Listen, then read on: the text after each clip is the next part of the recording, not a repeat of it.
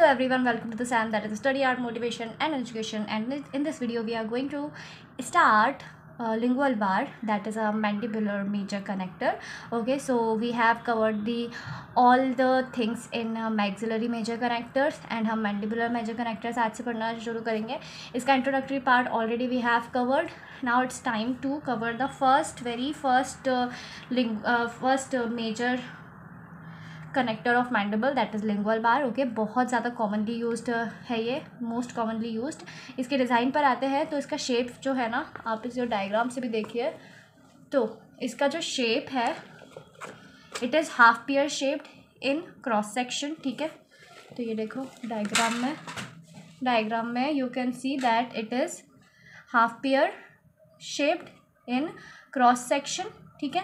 And it is the thickest and the bulkiest uh, portion placed inferiorly these two inferiors these are the thickest and the bulkiest and thinnest it and it is thinnest at superiorly okay so ये आपका क्या हो गया this part is your bulkiest and the thickest portion inferiorly and superiorly it is thinnest okay so this you have to remember it is made up of uh, thick six gauge half pear shaped wax pattern and minimum eight M M इसका uh, वो होना चाहिए depth होना चाहिए and vertical clearance from floor of the mouth okay then upper border should be three M M clearance from gingival margin ठीक है? Gingival margin से क्यों होना चाहिए क्लियरेंस क्योंकि जिंजाइवल मार्जिन में हाई वस्कुलर ट्रांसपोर्ट होता है और सबसे ज़्यादा वस्कुलर सप्लाई जंजावल मार्जिन में ही होता है, जिसकी वजह से अगर उस पर कोई भी हार्म होता है, कोई भी डैमेज होता है तो पेशेंट को बहुत ज़्यादा प्रॉब्लम हो सकती है। Then high its height should be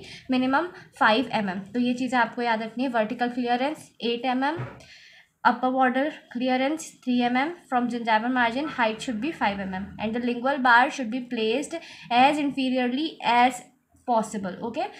ताकि सफिशेंट स्पेस स्पेस मिले प्लस मूवमेंट ऑफ़ टंग में कोई भी रेस्ट्रिक्शन ना आए। ठीक है? अब इसके हम एडवांटेजेस देख लेते हैं।